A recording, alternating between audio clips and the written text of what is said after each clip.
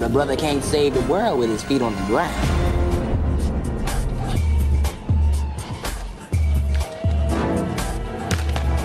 Oh, cut! Do it again. Sorry about that, y'all. I'm sorry. Y'all, this is Todd Foolery, and this week we gonna pretend the year is 1998. While Will Smith was getting jiggy with it, Monica and Brandy were arguing over who the boy belonged to, and Lauryn Hill released one of the most iconic albums of all time. The Miseducation of Lauryn Hill, black representation in kids television was skyrocketing on Nickelodeon, with shows like My Brother and Me, Gullah Gullah Island, Kenan and Kel, and Cousin Skeeter proving successful, Disney realized they needed to get in on this action and do what they do best. Monopolize the market. so in 1998, Disney Channel launched Zoog Disney, a programming block hosted by anthropomorphic robot or alien hybrid characters called Zoogs. This weekend afternoon and evening lineup was comprised of original and acquired shows targeted towards preteens and teenagers and made history by producing Disney's first black-led television series. So today I'll be covering that show's history, who created it, when the idea came to him, and why he left production after only a single season. I'll also discuss the show's structure, its impact on black culture, and where the actors are today. Now, when I say my brother and me shaped my adolescence, this show here shaped my preteen years. So let's just dive right on in and start talking about Silverstone aka the famous Jett Jackson.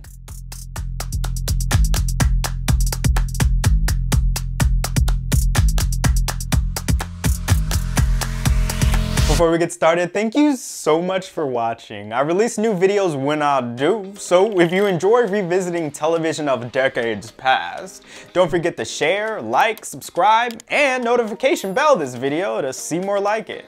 Quick shout out to Marky Slaughter for suggesting this show, and if you, the viewer, have any obscure or underrated 90s television you'd like me to cover, comment it down below. If it meets my criteria and I can actually find episodes, I'll watch, research, review, and retrospect it. Now, let's start talking about this show. That's me. I mean, I play Jett Jackson, a 13-year-old television star who plays a middle school private investigator on a hit series. Yes, you are money. You with me so far? The famous Jett Jackson is about the lead of a teen action television show moving from Los Angeles back home to a small town in North Carolina called Wilsted. He lives there with his father, Sheriff Woodrick, or Wood Jackson, and great-grandmother Ms. Coretta, while his actress mother, Jules Jackson, remains in LA but visits periodically until she moves back permanently in season 3. While the series does feature storylines from Jett's show Silverstone, it's actually about Jett just trying to be a kid, live a relatively normal life, and spend time with his two best friends, JB Halliburton and Kayla West. It also centers around reoccurring characters like Cubby, the special effects guy on Jett's show, and Booker Murray, Wood's bumbling but somewhat competent deputy. Then Nigel and Riley also get introduced in season 2, but We'll discuss them later. The show premiered October 25th, 1998 and ran for three seasons with a total of 65 episodes, airing the finale June 22nd, 2001. The show even had a Disney Channel original movie debut June 8th, the same year that it ended, and while the show flashed forward, and we'll revisit that one eventually, is credited as the first Disney Channel original series, Jett Jackson is the first to have a black lead and be turned into a Disney Channel original movie, so there's some trivia you can tell friends at parties. Now, the show was created by Fracaswell Hyman, an actor, screenwriter, producer, and author that I was fortunate enough to interview for this video. He worked on shows like Ghostwriter, Gullah Gullah Island, and 101 Dalmatians the series before pitching the famous Jett Jackson to executives at Disney, and interestingly enough, he came up with the show's concept through his work on Ghostwriter. One day when visiting his mother in a tiny North Carolina town, Hyman wondered what it'd be like if Sheldon Turnipseed, the actor that played Jamal Jenkins on Ghostwriter, moved to a small town after becoming famous, and the rest is history.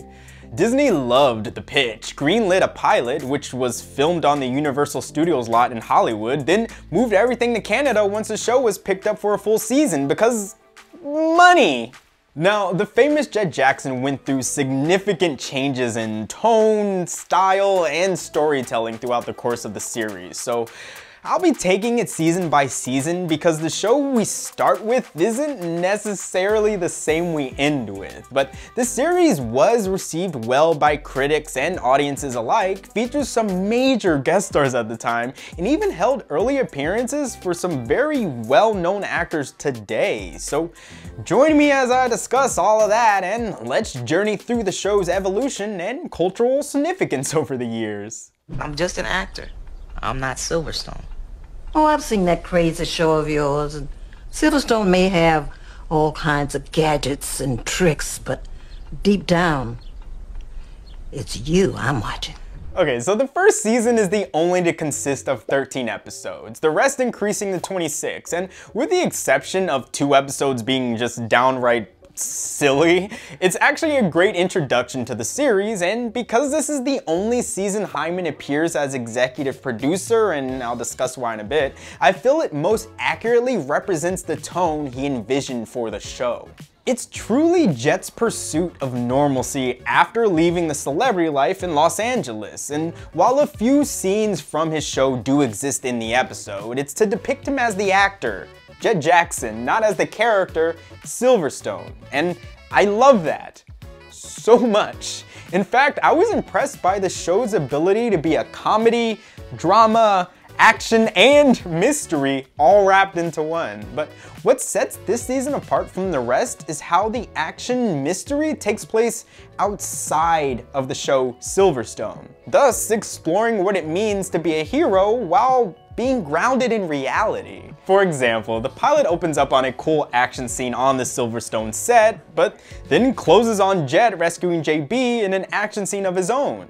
In another episode, Jett and Wood get lost while camping after Wood gets injured, then Jett rescues the middle school bully from falling off a roof in another. And in the season finale, Jett rescues Kayla when she goes rock climbing with his stunt double Miles, who turns out to only really be brave when it's a scene being filmed for TV. These moments genuinely feel like the characters are in legit danger or distress because they take place offset, pushing Jett past acting like a hero and truly becoming one. On the flip side, one of my favorite episodes has Jett's superfan Delilah win a chance to follow him around.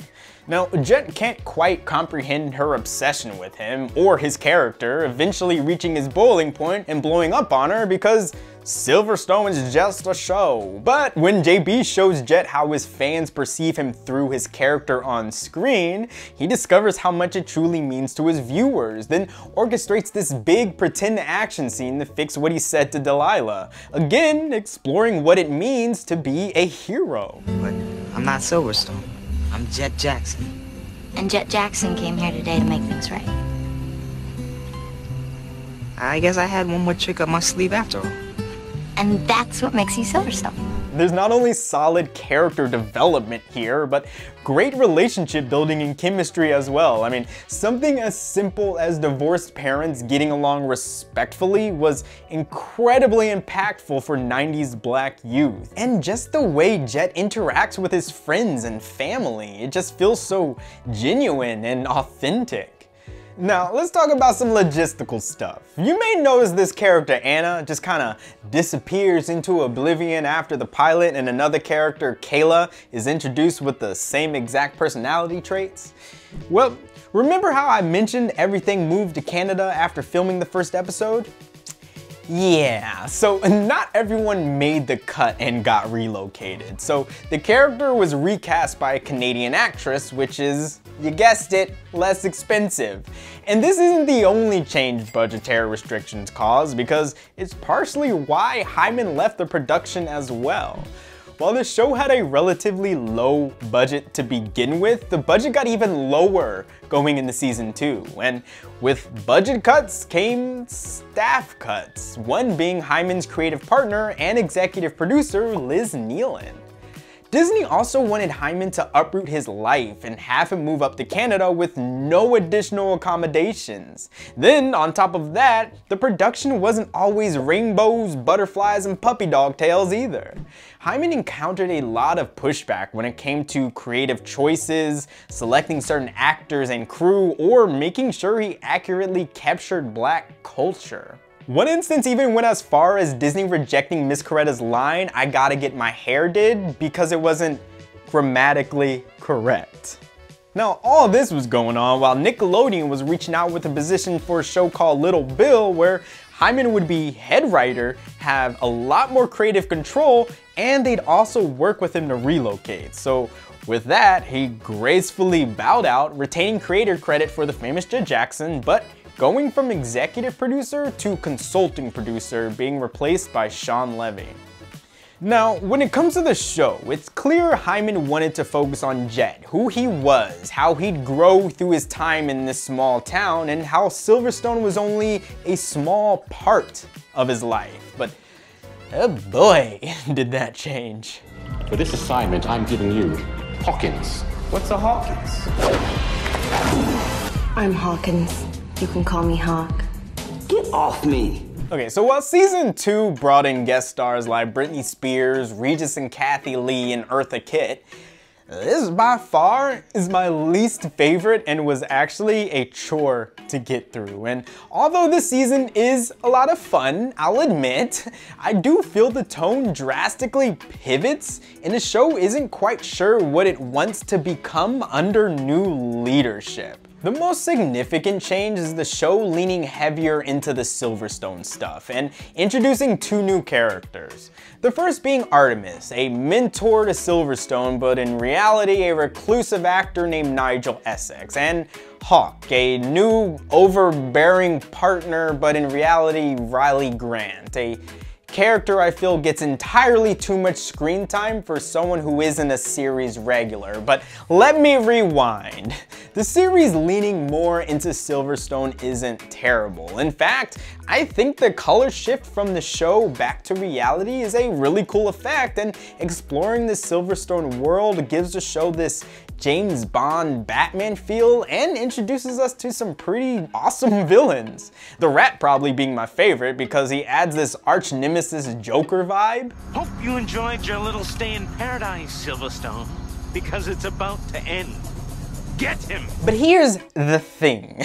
when the show devotes so much screen time to build out and develop these Silverstone stories, the stories that take place off set feel a bit rushed because they're trying to cram so many plots into a single 22 minute episode. For example, one episode dives into the relationship between Riley and her overbearing mother, explores Silverstone being left in charge while Artemus is out, and follows JB, Kayla, and Deputy Booker when Booker suspects this random dude is Elvis.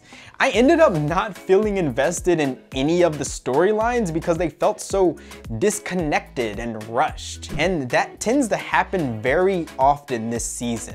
There's also an episode where Jett interacts with a ghost, so that kind of muddles the whole grounded in reality thing. Now, it isn't all bad though. Lee Thompson Young, who plays Jett, wrote an episode and it actually turned out to be my season favorite because it develops both Jett and Silverstone in parallel ways.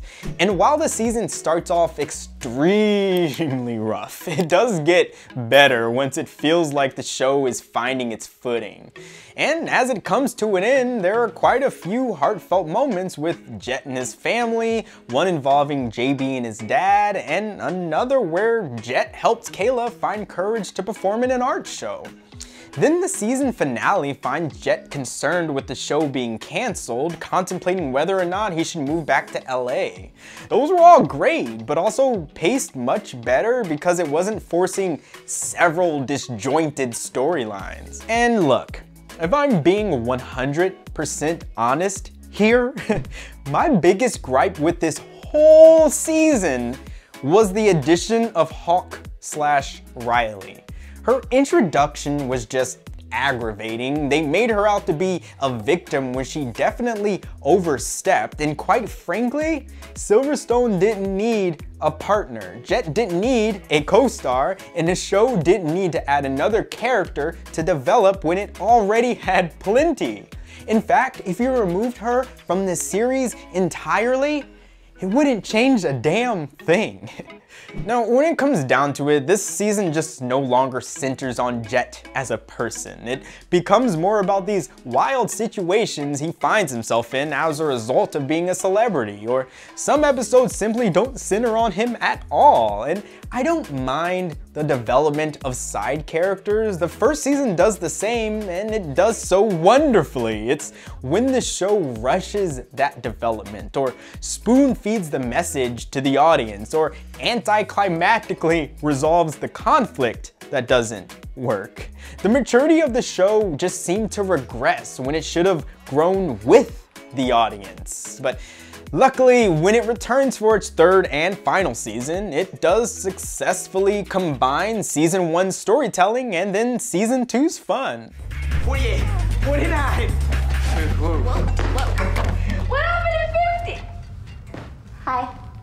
Hey, man, we were just checking the sturdiness of The two of you have way too much time on your hands. Listen, I don't know what memo got sent or who talked to who or what, but this season has much better dialogue, stronger, more coherent storytelling, more dynamic camera movement, interesting character development, and each episode actually has something to say without beating the message over your head. It's almost as if the creative team went back to season one, rediscovered what the show is actually about, then took that to improve on everything that didn't work in season two. First off, the Silverstone cutaways are still prevalent, but much more effective because they actively work to develop the character. They even explore Silverstone's backstory, revealing how Artemus raised him after his parents were tragically killed in an accident.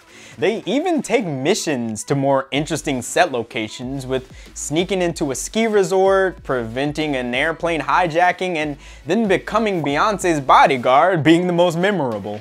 Beyonce, wait a minute. I'm, sorry I wasn't honest with you. It won't happen again. You're right. It won't. I don't want a bodyguard, and I don't need anyone looking out for me. Aside from that, it stated Lee Thompson Young studied martial arts in his spare time and requested doing more of his own stunts.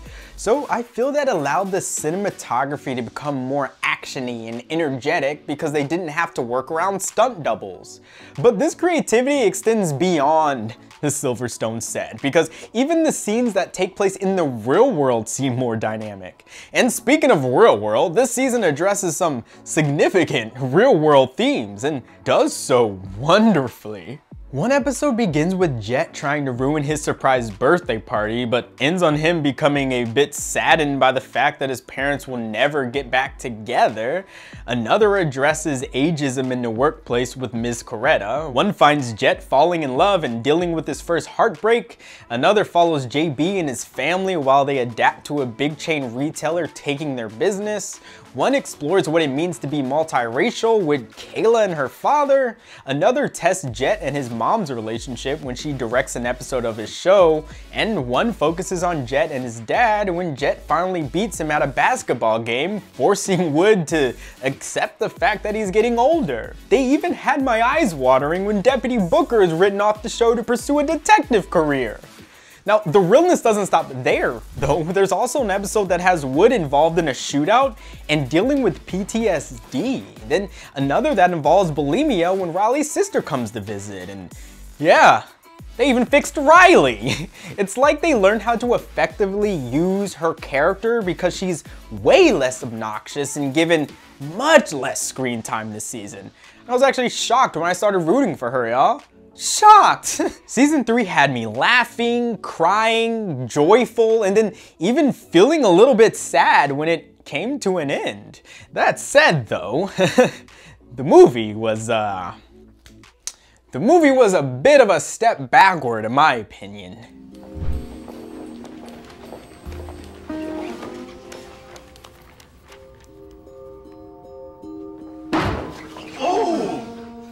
Now, this is going to be brief because I intend on giving the movie a full review in its own separate video, but Jett Jackson the movie is fine, I guess. Being the first Disney Channel original movie to be based on a Disney Channel original show, I didn't expect a Spielberg production, but I at least thought the storytelling would match that of season 3.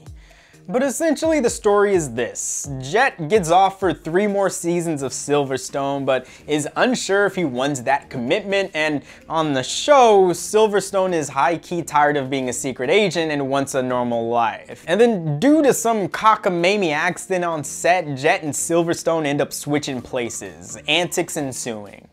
And I get it, the movie should be bigger than the show, and this is bigger. the stakes are higher, the special effects are better, the production design is stronger, but the movie just kind of feels like a season 2 storyline with a higher budget. In fact, I'm pretty sure the movie was written between season 2 and 3 because Booker appears in the movie, but he's still a deputy, which is confusing because just 3 months prior to the film airing, he guest starred on the show as a detective. And I know I'm nitpicking, but I guess I'm just a little disappointed because season 3 was such a return to form, more grounded in reality, and just so full of heart, while the movie just kind of falls flat emotionally and seems more like a gimmick than a proper send-off of the show, especially because the series finale didn't really feel like a conclusion. But here's the thing. None of that is what stands out when I remember the show. Goodbye, Hollywood star. Hello, hometown mom. Now, the 90s didn't provide black kids with a great deal of superheroes. In fact, before Black Panther, Black Lightning, and Into the Spider-Verse, all we had was Blade, which was rated R, Spawn, which gave me nightmares, Steel, which was a movie, Blankman, which I'm pretty sure wasn't targeted toward children, and then The Meteor Man, which I guess they tried. so when Silverstone hit the scene, words cannot express how powerful it was seeing a hero that was not only black, but a black kid. Then to also follow him outside of his show within a show TV character was genius because he wasn't just this super spy, but an average kid who dealt with average things like bad grades, not making the cut for the football team, or being nervous about his first kiss. He also had flaws and made mistakes, but consistently learned and grew from them. What's more, the show depicted such a strong and healthy relationship between Jett and his father. They hugged, they communicated, they said, I love you to one another, and turning the tables with Jett leaving his mother to live with his father full time was influential all on its own. Likewise, my parents divorced at a young age, and around 13 or 14, I made the conscious choice to fly across country to move in with my dad, so I felt seen. There was also the introduction of a Jett Jackson comic series that appeared in a few issues of the Disney Adventure magazine in 1999. And that's just even more dope representation.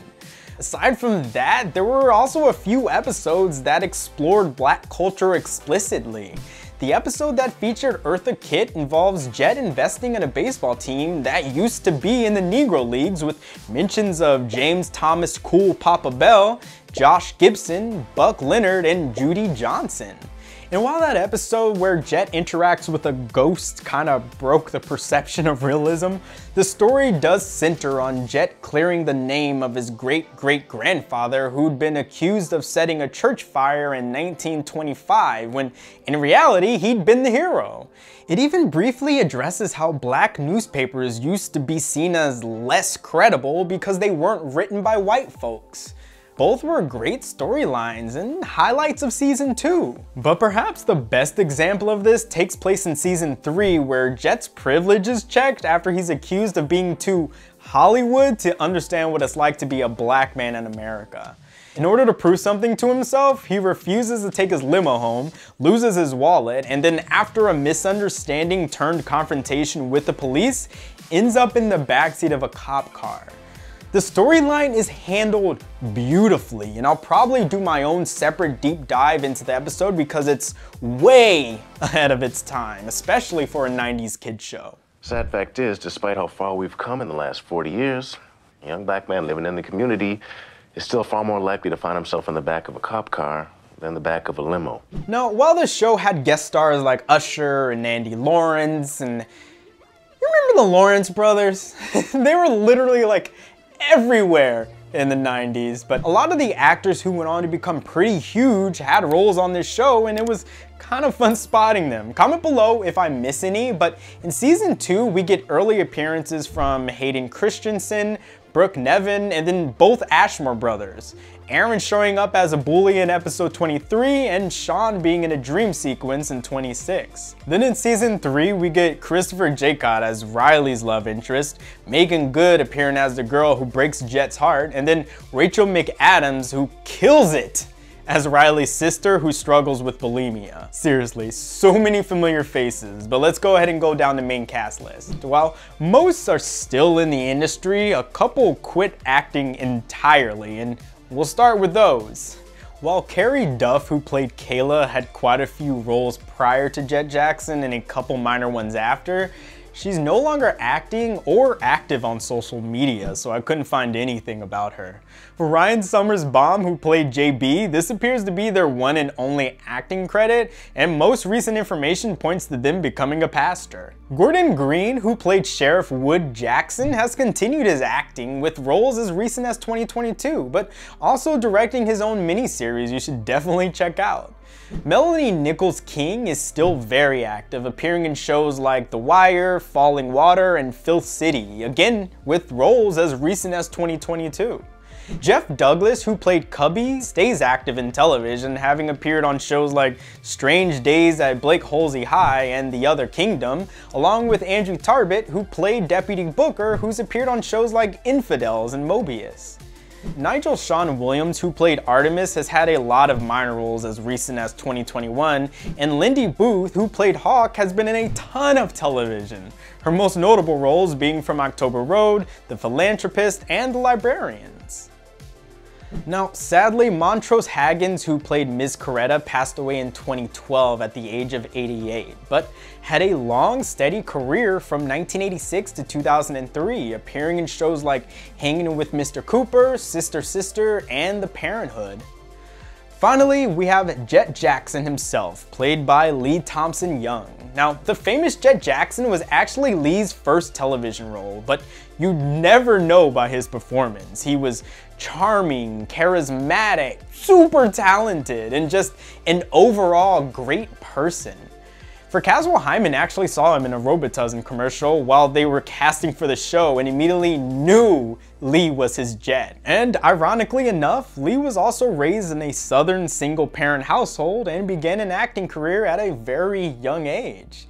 And after the show, Lee went on to have a very successful acting career with his most memorable roles being on Smallville, Flash Forward, and Rizzoli and Isles. But now here comes the sad part. In 2013, Lee Thompson Young tragically died by suicide. He'd been diagnosed with bipolar disorder, been taking medication, and suffered from depression prior to his death. This was a shocking and tremendously terrible loss. As someone who struggles with my own mental disorders, hearing this broke my heart, but got me to take my own mental health seriously and seek professional help. So if anything positive can be taken from the loss of this incredible performer, it's awareness. His family even went on to launch the Lee Thompson Young Foundation, which is an organization focused on removing the stigma behind mental health. So if you or anyone you know struggles with mental health, you can find resources here, and a link will be in the description below.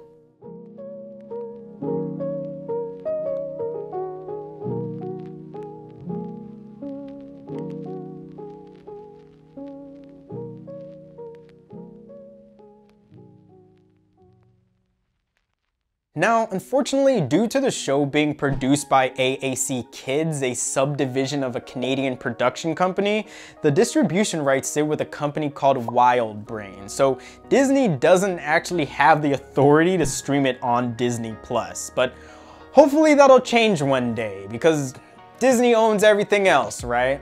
But regardless, the famous Jett Jackson will forever hold a special place in my heart. And even though its tone and style significantly transformed over the series, it still shaped my preteen years, gave me a cool, positive role model, and taught me valuable lessons with its influence stretching far beyond the television screen.